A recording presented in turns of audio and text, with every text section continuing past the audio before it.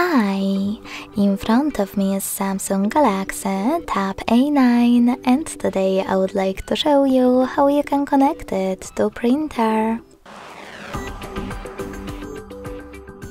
First of all, go into Devices Settings and tap on Connections right away.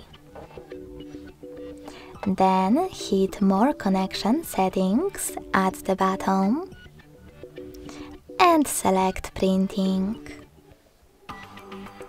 Now you can click on Default Print Service right away and wait. Your device is looking for a printer. When it finds one, it will connect to it.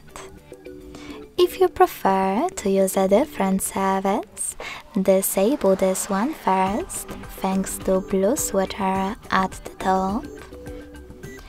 Go back, tap on Download plugin and install the best service for your printer.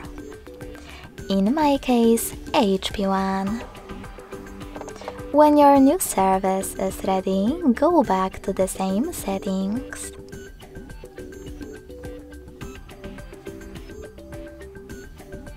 Then click on it and wait as well. Thanks so much for watching. If you enjoyed this video, don't forget to leave a like, comment and subscribe. Bye!